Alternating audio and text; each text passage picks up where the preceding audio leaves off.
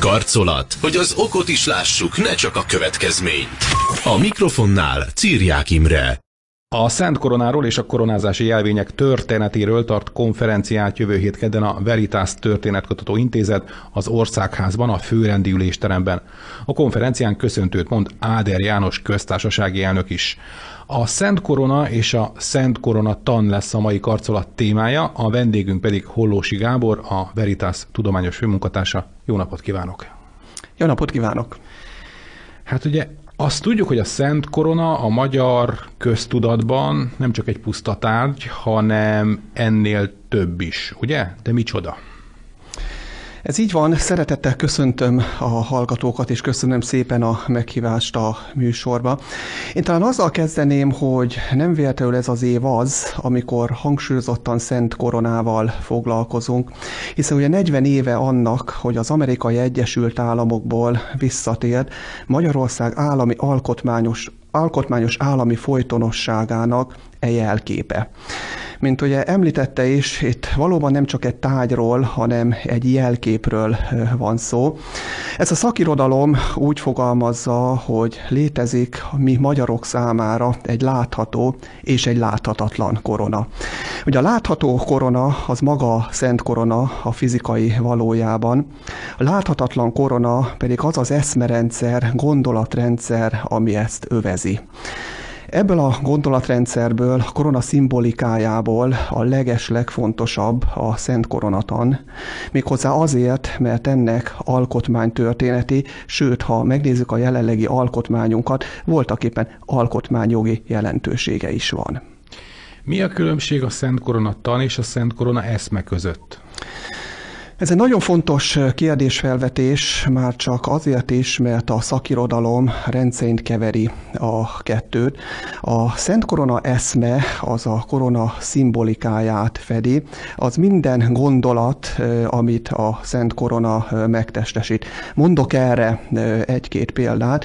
Ugye, ha megnézzük Szent István királynak Imre Herceghez intézett intelmeit, akkor ezekben az intelmekben a korona ugye egyrészt a földi koronát jelöli, tehát a királyi hatalmat jelképezi, másrészt ugye az égi koronát, az az isteni örök égi hatalomnak is a jelképe. Hogyha ugrunk egy nagyot a magyar történelembe egészen a 19. századig, akkor azt látjuk, hogy a korona ekkor már az államterületet, a területi integritását szimbolizálja Magyarországnak. Ugye korabeli dokumentumokban számtalanszor találkozunk ezzel a fordulattal, hogy a Szent Korona országai. Na most külön rádióműsor tárgya lehetne, hogy mi mindent szimbolizál a Szent Korona, hiszen ugye vannak olyan doktrínák is, amely szerint voltak éppen a Szent Korona tetején a kereszt egy kis antennának tekinthető, amint keresztül ugye az égi hatalom, ugye a Jóisten kommunikál a mindenkori magyar uralkodóval. Ezektől a sokszor tudománytalan megközelítésekről most tekintsünk el. Ugye ezzel szemben a Szent Koronatan viszont egy alkotmányjogi, közjogi doktrín doktrinát jelent, aminek az első megfogalmazása Verbőci István országbírói ítélőmesterre vezethető vissza, aki ezt a doktrinát legelőször az 1514-ben megjelent tripartitumában vázolta föl, írta le.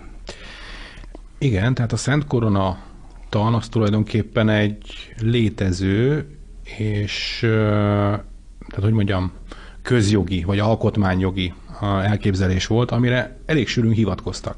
De ugye itt is voltak változások, hogy pontosan nyilván ugye az adott történelmi eh, korszaktól, realitástól nem függetlenül. Verbőci volt az első, aki ezt megfogalmazta? Verbőci volt a tannak az első megfogalmazója, viszont már jó egy évszázaddal korábban a gyakorlatban ez a tan már érvényesül. Mielőtt rátérnék ennek a történetére, én azt gondolom, hogy szükséges lenne a tisztelt hallgatók számára fölvázolni, hogy voltak éppen a Szent Korona tan az mit is jelent, miről van szó igazából. Ugye a középkori tanítás szerint a magyar államot a király és a nemzet alkotja. Ugye erre a kettősségre épül az állam. Nagyon fontos, hogy az akkori nemzetfogalom a mai nemzetfogalommal nem azonos, nem tehető a kettő közé egyenlő jelentőséggel, hiszen akkoriban a nemzet az voltak éppen a nemességet fette, tehát ugye szűkebb volt a nemzet fogalom, mint ma, és nem arról volt szó, hogy kinek milyen az anyanyelve, ugye magyarul beszél, vagy milyen nyelvet beszél. Na most a király és a nemesség együttvéve, ugye a Szent Korona tan szerint a Szent Korona egész teste a legfőbb államhatalom a Szent Korona egész testét illeti meg. Ebből nagyon sok dolog következik. Az egyik az, hogy a Szent Korona jogán maga a nemzet, a nemzet tagjai is részt vesznek az államhatalomba. Tehát ugye az uralkodó egy oldal nem szoríthatja ki a nemzetet a hatalomból. A másik pedig, hogy az uralkodó sem a születése jogán bírja a királyjogokat, hanem a Szent Korona jogán. Hogyan is ruházódnak át az uralkodóra a Szent Koronának a királyi jogai. Nagyon fontos a középkori magyar történelemben a koronázásnak a jelentősége, hiszen a koronázással ruházódnak át a Szent Koronáról a királyi jogok az uralkodóra. A tannak, a Szent Korona tannak, tehát a legfontosabb következtetése az, hogy Magyarországon egyeduralkodó király, despota, tyrannis nincsen, tehát hogy a nemzet a hatalomból nem szorítható ki. Na most rátérve a kérdésére, ugye a beszélgetés elején ezt már felvetettük, hogy a Szent Koronának a szimbolikájáról tulajdonképpen külön, külön beszélgetést lehetne tartani. Itt a szimbolikára viszont mégis visszautalnék, hiszen a 15. századra kialakul a koronának az a szimbolikája, mely szerint a Szent Korona már nem a királyi hatalmat, hanem a királytól független államhatalmat jelképezi. Hogy ez érthető legyen, mondok is le egy példát, 1401-ben luxemburgi Zsigmond uralkodónkat a nagyurak fogságba vetették. Trónját is megszűntnek tekintették átmenetileg, az ország kormányzását viszont valahogy meg kellett oldani. Az történt, hogy a királyi tanács országos tanácsá alakult át, amely a Szent Korona nevében folytatta a hatalom gyakorlását. Ugye ebből az 1401-es esetből már nagyon szépen lehet látni, hogy a Szent Korona már nem a királyi hatalmat, hanem a királytól független államhatalmat testesíti meg. Most természetesen ehhez el kellett telnie még egy jó száz évnek, mire ez doktrínaként megfogalmazódott, és ez Verbőci Istvánnak a már említett 1514-ben 14-re összeállított tripartitumában történt meg. Nevezetesen, hogy Verbőci három kérdéskört kapcsolt össze. Ugye az egyik a hatalom megosztás gondolata, amit ugye már az előbb említettünk, hogy a király egy oldalon ugye a nemzet tagjait, a nemességet nem szoríthatja ki a hatalomból. A szent koronát, amely ekkor már ugye nem a királyi hatalmat, hanem a királytól független államhatalmat jelképezte, és végül pedig az úgynevezett organikus államszemlélet elméletet, hogy ez értető legyen, és mielőtt idézném Verbőcit, néhány mondatot hadd szóljak magáról az organikus államszemléletről, hogy ez mit jelent. Ez már az ókori római jogban, illetve politikában ismert volt.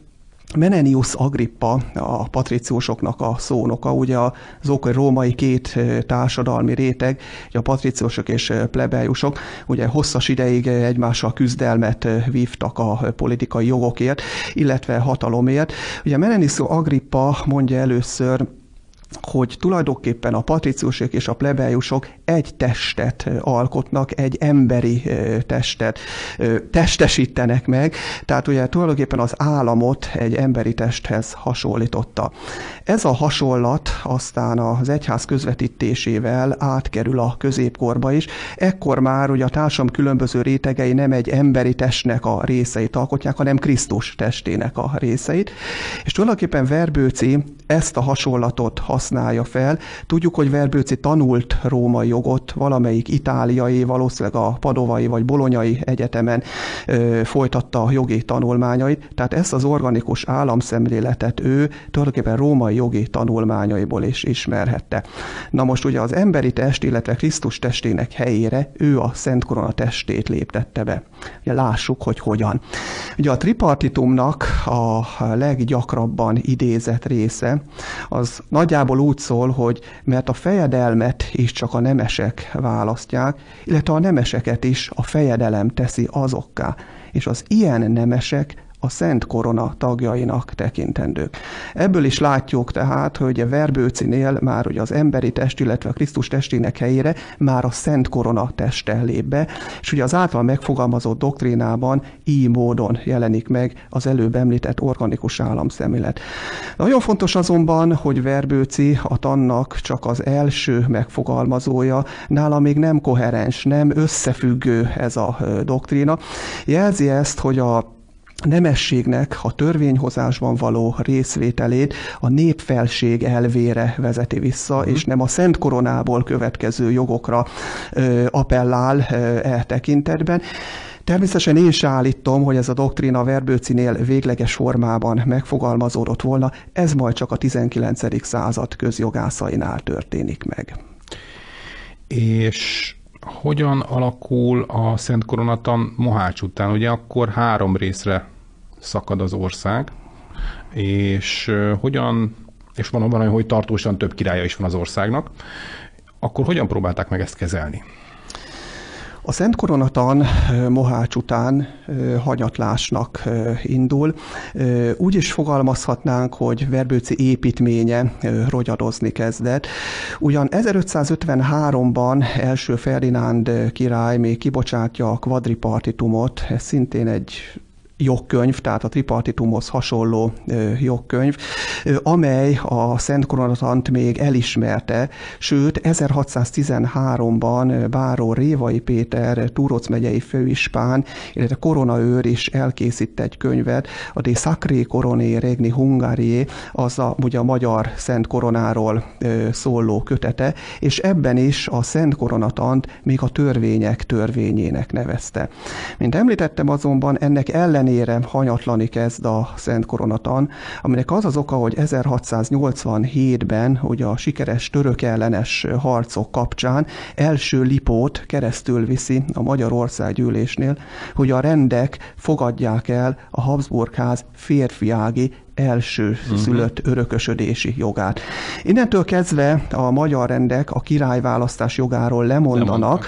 a koronázás jogáról viszont nem, viszont ez a tény mégiscsak elkezdi háttérbe szorítani a Szent Korona tant, aminek az a következmény, hogy a Szent Koronának ismét inkább a szimbolikus jelentősége kerül előtérbe, megint inkább csak a királyi hatalmat kezdi el szimbolizálni, illetve, mint említettük, ugye a török kiűzése után Magyarországot nem kormány kormányozták együtt Erdéllyel, ekkor kezd megjelenni a Szent Koronának a területi integritásra vonatkozó jelentő jelentése is, és tulajdonképpen így éri meg a 19. századot, ne felejtsük el, hogy ugye 1848-ban még mindig követelték Magyarország unióját Erdéllyel.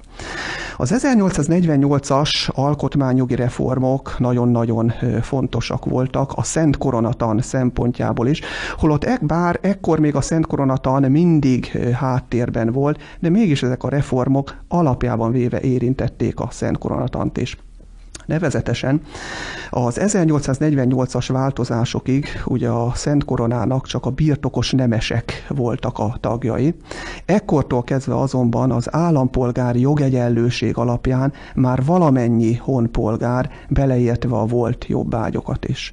Másik nagyon fontos változás, hogy ugye 1848-as törvényekkel eltörlik az ősiséget, tehát ugye innentől kezdve a nemesi birtokok elidegeníthetővé válnak. Ugye a nemesek banktól ezért kölcsön fel tudtak venni a birtokokra, és elkezdhették modernizálni azokat.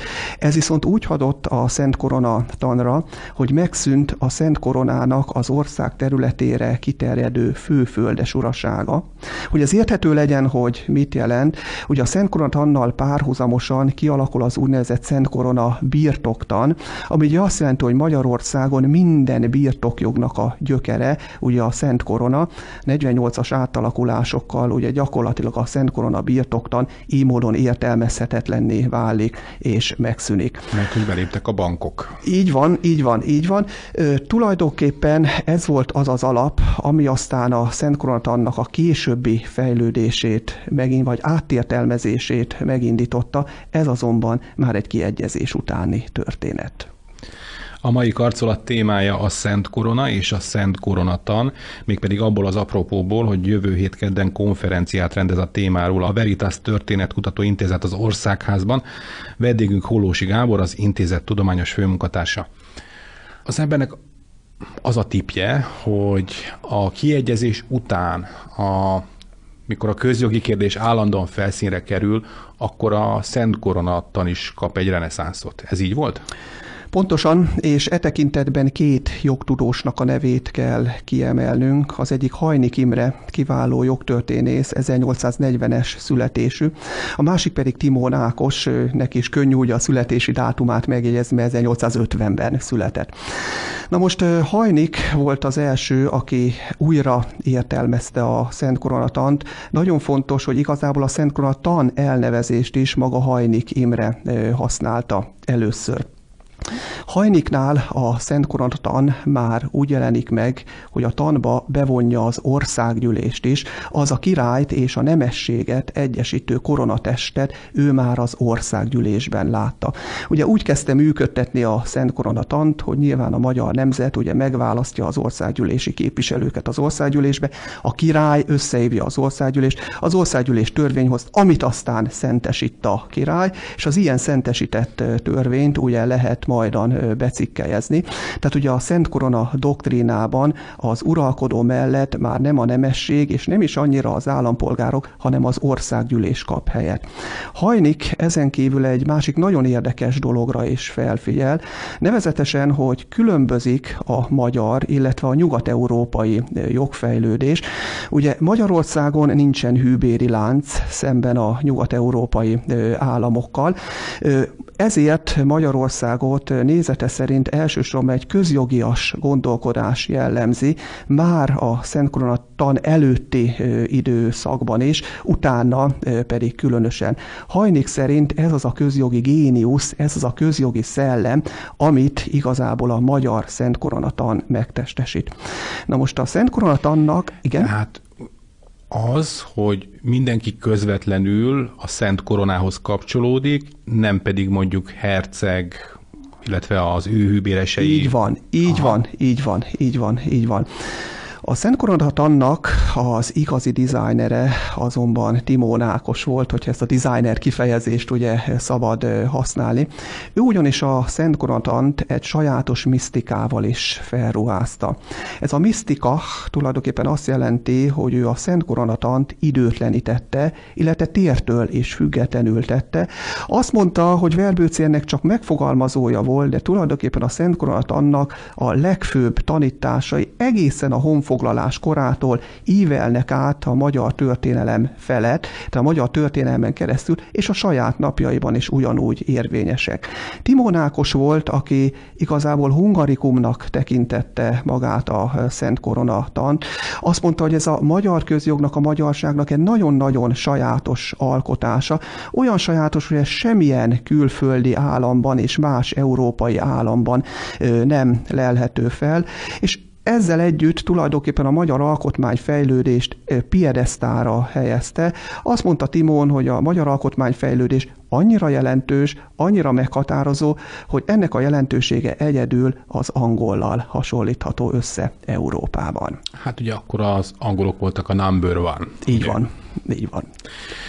De ez azt is jelenti, hogy folyamatosan modernizálódott maga a Szent Korona tan tulajdonképpen. Mindig igazították a korkövetelményeihez, érdekeihez is adott esetben.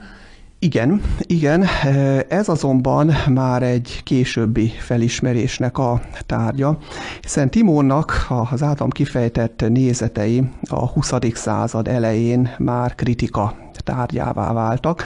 Ugye elsősorban a kritikai történetírás képviselő történészek, éppen a Szegfű Gyula fejtette ki először, hogy igazából hát a Szent Koronatan az valahol ugye a 15. század környékén Verbőci által fogalmazódik meg, és igazából a Szent Koronatan mindig annak megfelelően alakult, hogy milyen társadalmi rétegek milyen szerepet töltöttek be az uralkodó mellett. Na most így módon tulajdonképpen a kritikai történetírás és a Timón által képviselt úgynevezett történeti jogi iskolának az összeütközése az elkerülhetetlen volt, uh-huh. hiszen még a történészek a Szent Koratannal valóban kritikai alapra helyezkedtek, addig a horti korszak jogászai között elsősorban Tomcsányi Móricz és Molnár Kálmánnál viszont Timón nézetei, tehát a történeti jogi iskolának a nézetei váltak uralkodóvá.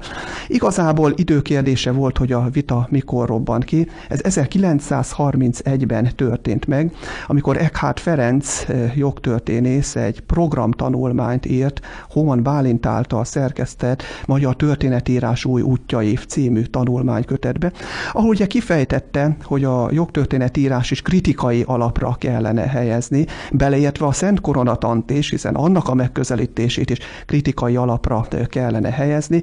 Ez a cikk természetesen a korszak közjogászainak a figyelmét nem került el, óriási vita robbant ki, olyannyira, hogy ez a vita a mai napig tart. A mai napig? A mai napig, így van. Uh, és mi ennek a vitának a lényege? Uh, ha Kezdhetném így talán a vita lényege előtt a vitának néhány paradoxonjára ö, hadd térjek ki, hiszen Persze. ez egy nagyon-nagyon érdekes vita volt.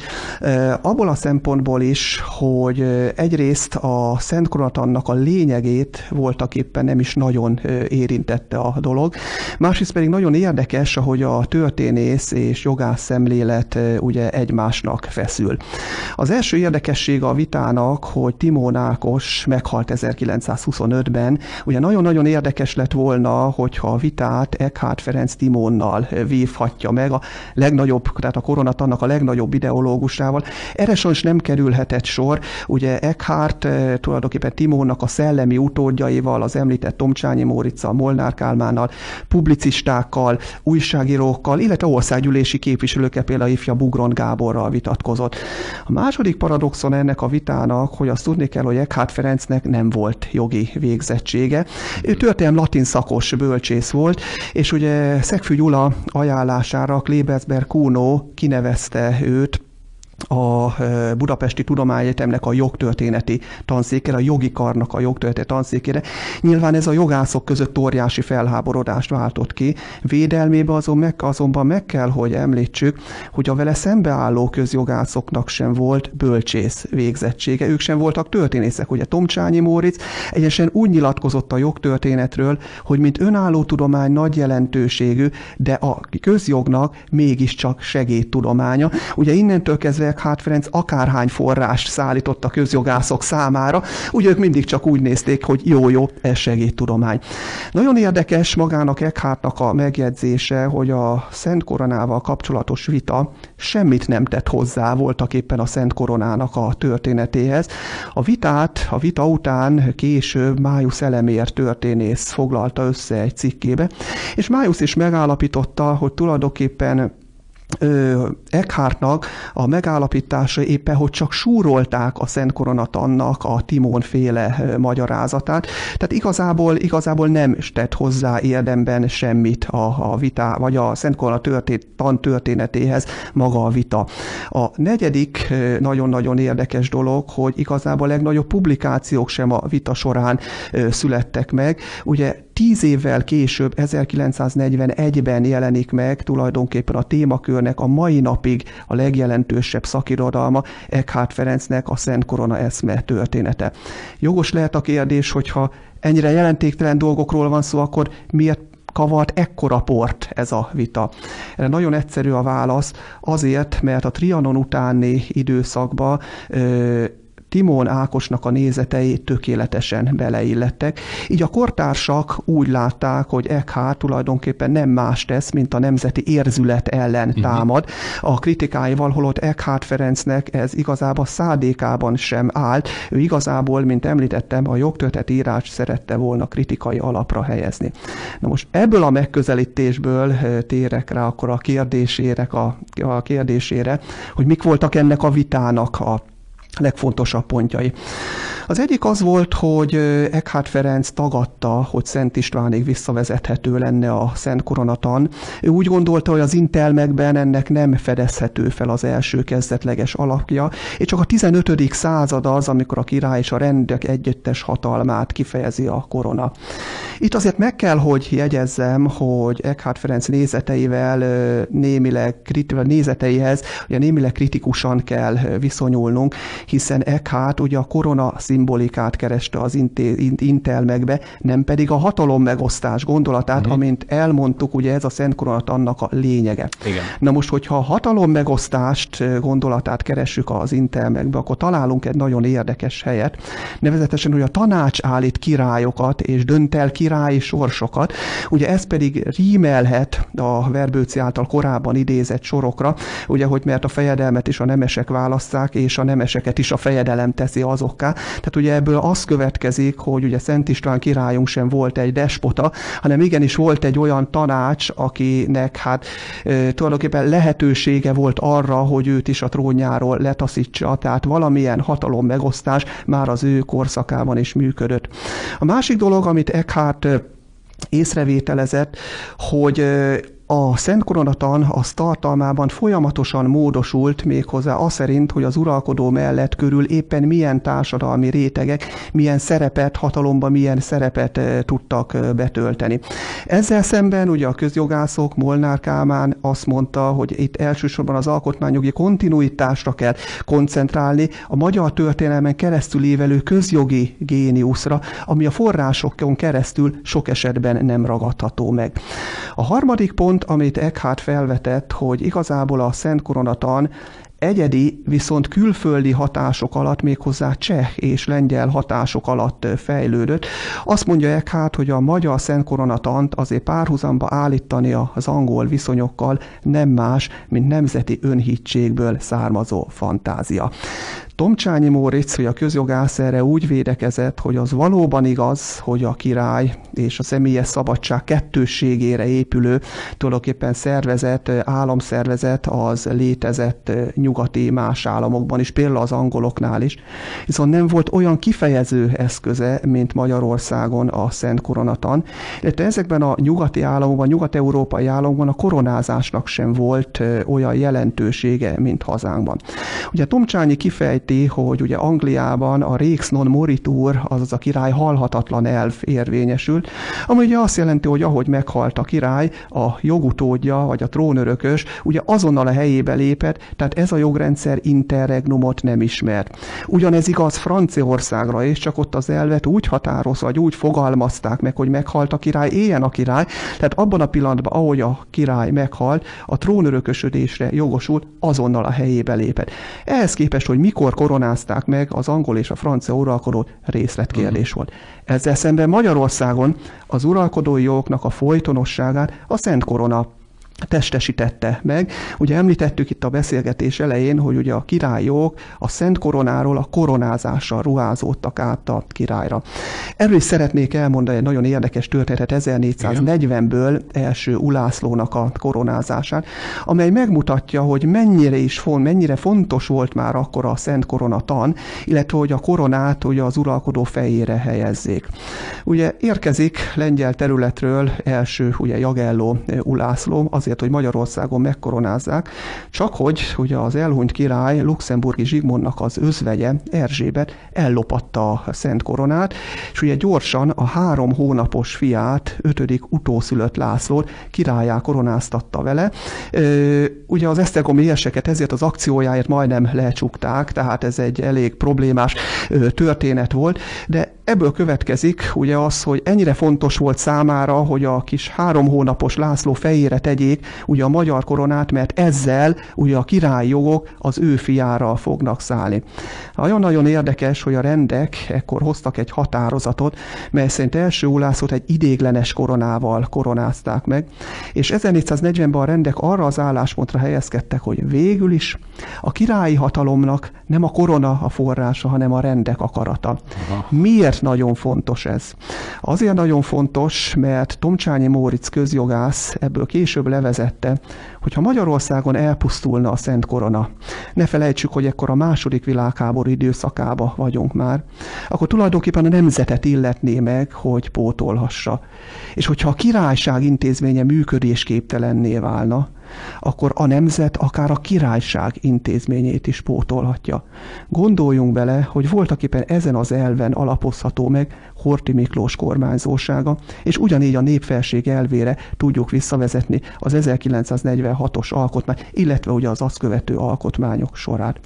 Végülis az utolsó dolog, amit Eckhart felvetett, és ezt viszont teljesen jogosan, hogy a közjogászok nem alkalmazták a forráskritikát. Így például Tomcsányi is, illetve Molnár Kálmán is Anonymoust, akkor máig nem tudjuk pontosan, hogy hanyadik Béla királynak a jegyzője volt.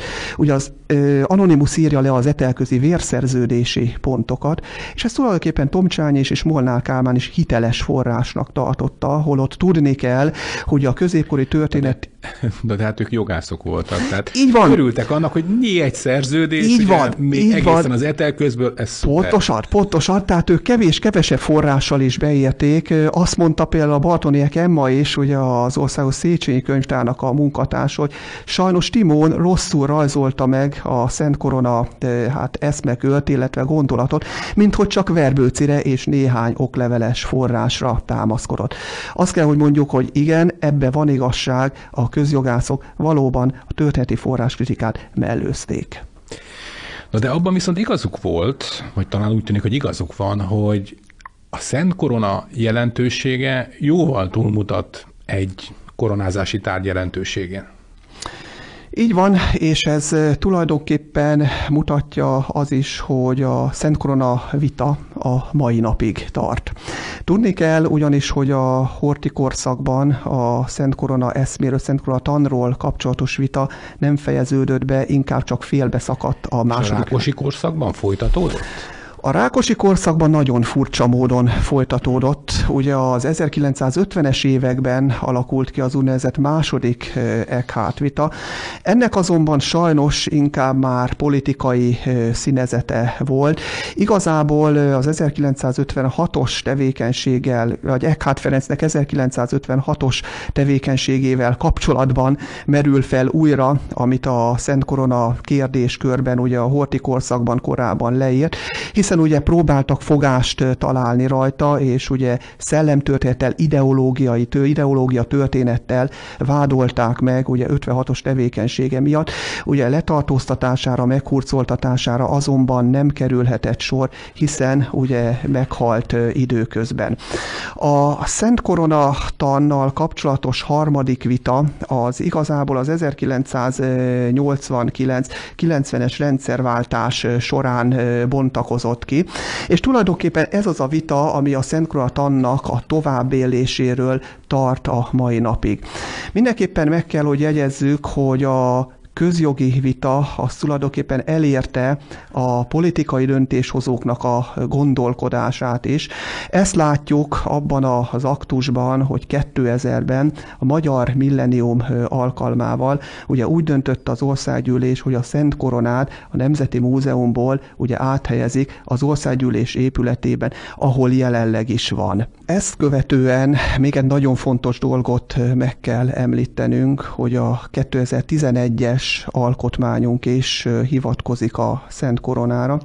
Méghozzá a következőképpen azt írja az alkotmány, hogy tiszteletben tartjuk történeti alkotmányunk vívmányait és a Szent Koronát, amely megtestesíti Magyarország alkotmányos állami folytonosságát és a nemzetegységét. De tényleg ezt testesíti meg tulajdonképpen a folytonosságot és a nemzetegységét? Így van. A vita ezért sem volt haszontalan, illetve akkor a vita most már eldőlni látszik? Erre azt tudom mondani, hogy nem.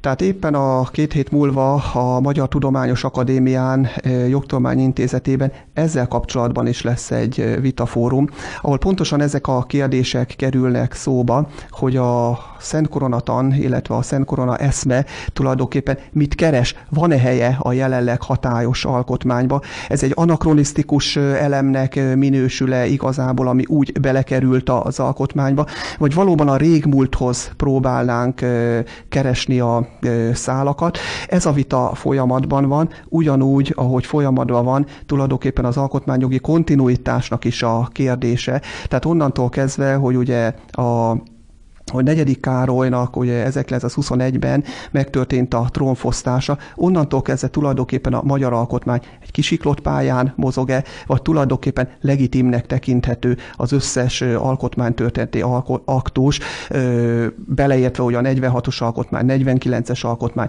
1989-es alkotmánymódosítást. De maga az eszme egyébként, vagy nem az eszme, hanem a tan, bocsánat, tehát a Szent Koronatan folytonos megújulásról is tanúbizonyságot tett az évszázadok során, tehát most már beszéltünk róla ezer év során. Tehát mindig tudott alkalmazkodni az aktuális hát állapotokhoz. Ez így van, csak ugye itt az a nagy kérdés, hogy voltak éppen a köztársasági államformához miként lehet alkalmazni ezt a tan.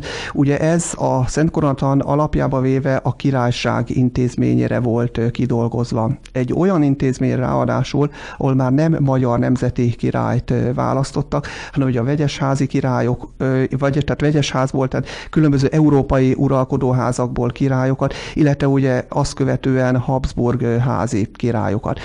Na most ugye a köztársasági intézményrendszert vagy államformát illetően ugye azért nagyon problémás a Szent annak az alkalmazása, mert mint említettük, a Szent annak éppen az a lényege, hogy valakinek a fejére tegyék a koronát, hogy a felségjogok e tekintetben ugye átruházhatók legyenek. Nem valószínű, hogy ugye a közeljövőben bárkinek is a fejére kerülne a korona, ezért ezért magam is úgy gondolom, hogy az alkotmányba nem igazából a Szent Korona tan folytatását kell keresni, hanem a Szent Korona eszmének a továbbélését. Tehát ugye a tekintetben, hogy mi mindent testesít meg a Szent Koronánk, ugye például az állam területet szimbolizálja, a nemzeti összetartozást szimbolizálja, az, hogy a különböző társadalmi rétegek, ugye legyen egyetemi tanár vagy vízvezetékszerelő az ember, mindenki a Szent Koronán koronának a tagjai, és egyenlő értékű magyar emberként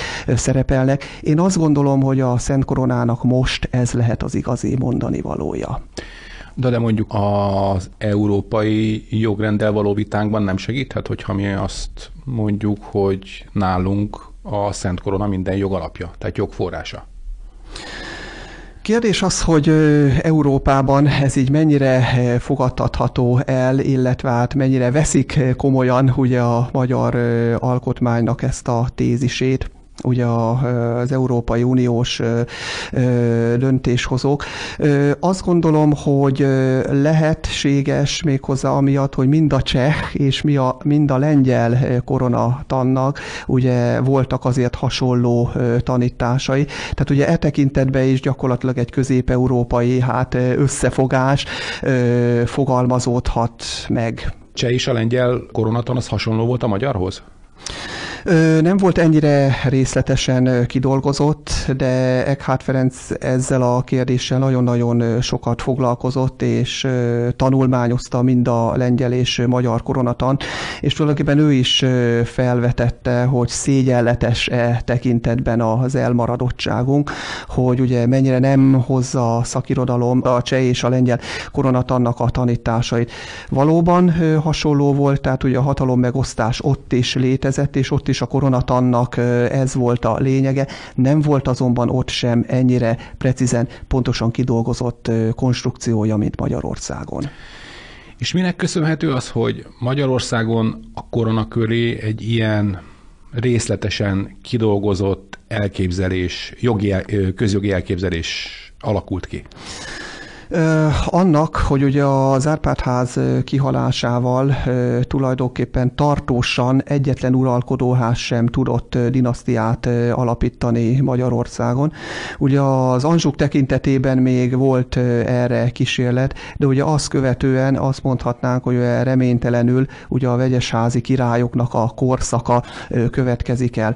Na most ki kellett dolgozni ugye az akkori korszak közjogászainak, ha fogalmazhatjuk így, egy olyan konstrukciót, amely végül is jogi szempontból biztosítja azt, hogy egy teljesen idegen, ugye európai dinasztiából érkező uralkodó király, ugye a magyarságot, tehát a magyar népet, a magyar rendeket, ugye a nemességet ne zárhassa ki a hatalomból.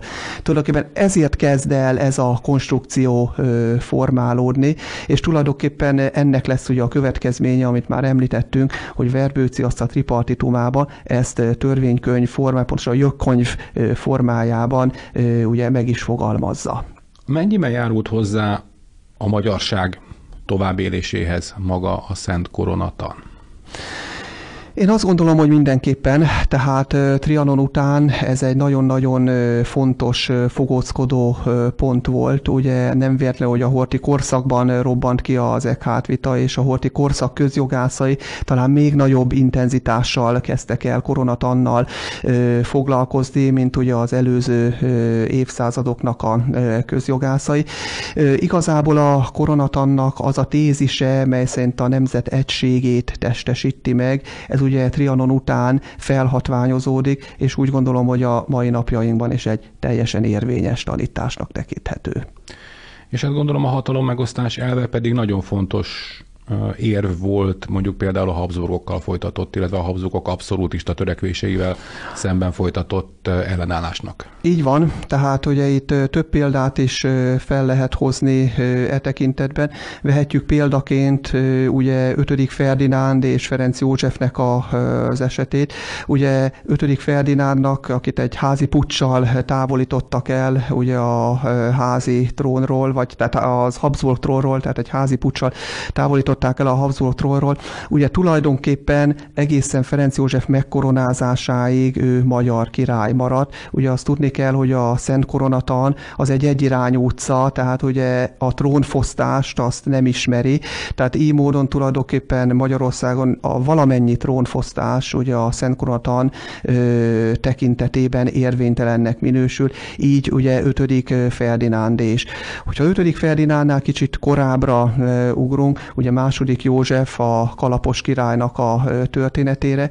Ugye a Szent Koronatan értelmében, mivel nem koronázták meg, ő sem volt jogszerűen, vagy jogszerűen ugye magyar uralkodó. Ugye Ferenc József ismerte föl, hogy csak úgy tudja konszolidálni a helyzetet, hogyha Magyarországot a saját alkotmánya szerint kormányozza, tehát ugye el kellett neki érni, hogy fejére tegyék a Szent Koronát, és tulajdonképpen ugye Ferenc József megkoronázásával tulajdonképpen tulajdonképpen ugye nagyon gyümölcsöző időszak kezdődött el Magyarország számára.